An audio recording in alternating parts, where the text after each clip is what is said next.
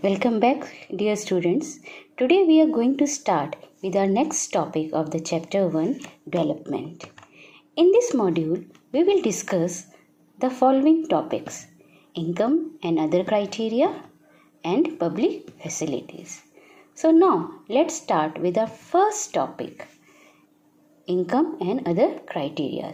In our previous video, we discussed in detail about the individual aspirations and goals, we found that people not only think of better income but also have goals such as security, respect, equal treatment, freedom in mind. Similarly, when we think of a nation or a region, we may, besides average income, think of other equally important attributes.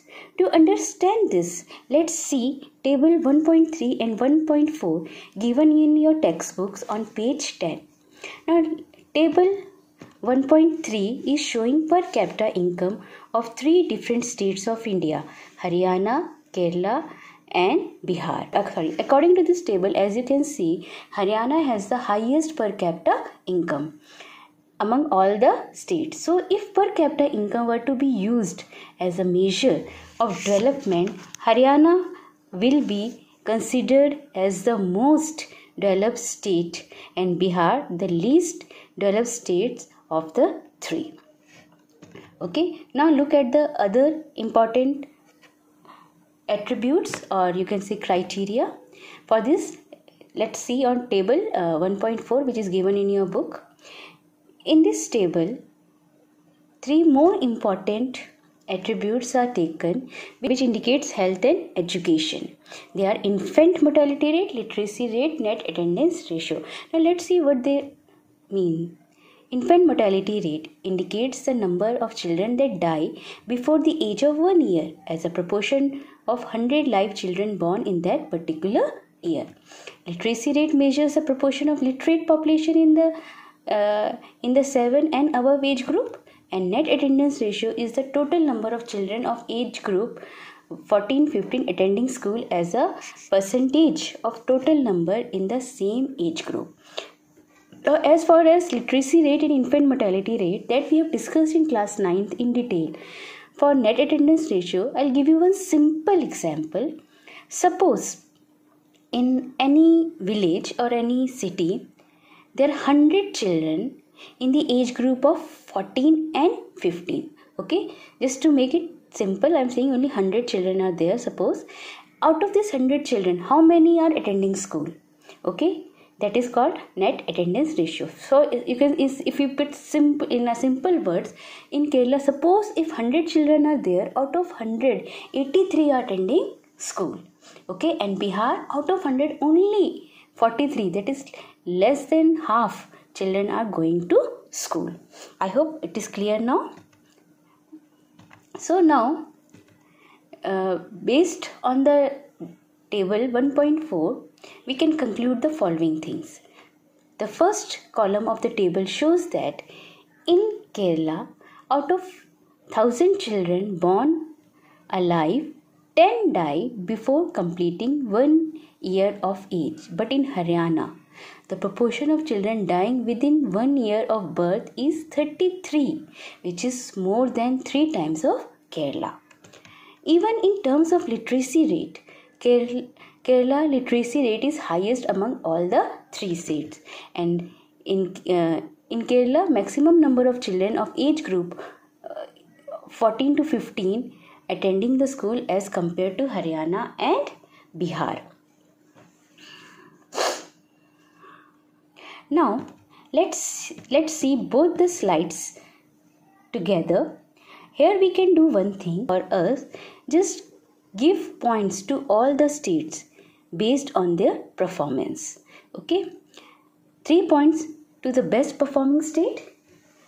In particular category, two points for the next and one point for the last in number okay um, so after giving points to all the states we can see in case of per capita income obviously haryana will get the maximum points that is 3 kerala 2 and bihar 1 and then we come to the infant mortality rate in case of infant mortality rate naturally uh, we can give three points to Kerala because the, Kerala's performance is best among all the three states.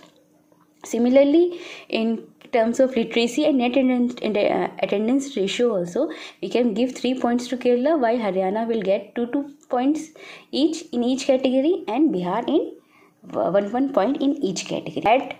Now let's add all the points together and this is the final total points. After comparing the three states based on their per capita income, health, and education, we can see that Kerala, in spite of lower per capita income than Haryana, it is better in terms of human development, which includes health and education. In simple words, we can say that money is not a complete educate indicator to show the level of development of any state or country okay now after comparing the different states based on their per capita income and health and education we come back to the topic which we discussed in our previous video that how to compare different countries or state. State we have just compared just now let's come to the country. And for that we have discussed that for comparing countries world bank uses per capita income or average income as the main criterion and we have also discussed the limitation or shortcoming of the criterion in detail now once it is realized that even though the level of income is important yet it is an inadequate measure of the, of the level of development we begin to think of other indicators Health, sorry, health and education indicators have come to widely used with income as a measure for development. Okay, for instance, Human Development Report published by UNDP compare countries on educational level of the people, their health status and per capita income. Now, let's see what is Human Development Report. The Human Development Report is an annual report published by Human Development Report Office of United Nations Development Program that is UNDP. It ranks countries based on HDI that is Human Development Index report released in their annual report.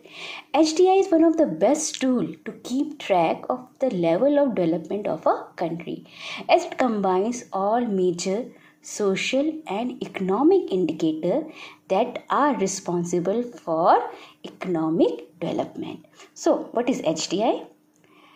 The Human Development Index is a statistical tool used to measure a country's overall achievement in its social and economic dimensions. The social and economic dimension of a country are based on health of people, their level of education attainment and their standard of living. Now, from uh, uh, from uh, last year's report, that is of 2019, I have taken this top five countries. Um, means HDI uh, top five countries which are in the top in HDI and then India and the neighboring countries ranking and this ranking is out of 177 countries in all so at the at number one the num- topmost country in the HDI is Norway Switzerland Ireland, Germany, and Hong Kong. And after that, in case of India, Sri Lanka, which is our neighboring country, a small island country, its rank is 71. And India, which is seventh largest country in the world, our rank is 129. Bhutan 134, Bangladesh 135, Pakistan 152, and Afghanistan 170. Okay, now what is the chief aim of HDI? The chief aim of HDI is to provide nation with comprehensive measure of environment they provide for their people in terms of opportunities for personal fulfillment. The higher the HDI the better the condition of the country created for its citizen to live and work. The main idea of HDI is as follows. People are real value of any nation and the richness of human life is what every nation's government should worry about. Okay so it's not about it's about the quality of the life the life which uh, which government is providing in the country for their people to live. So you can say that HDI is better method for measuring countries development okay.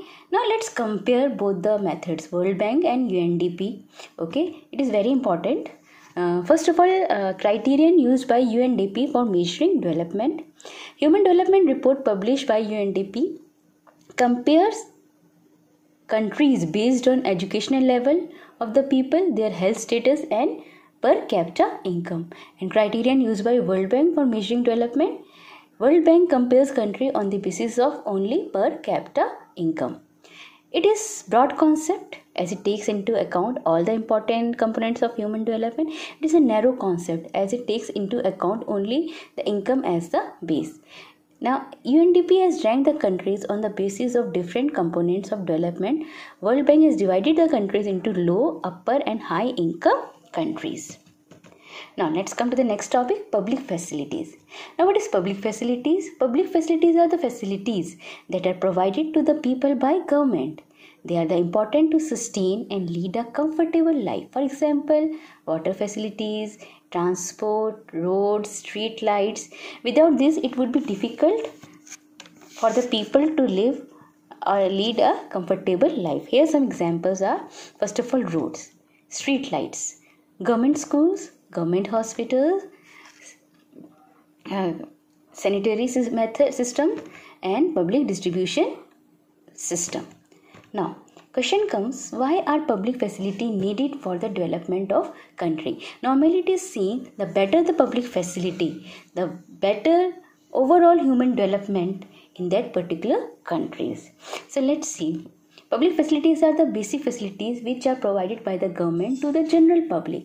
They are essential for economic as well as human development of the country. And some examples are education. Education is the most important public facility which is required both by the rich as well as the poor. Public distribution system. Public distribution system is another important facility which plays an important role in providing food security to the people. And then transportation.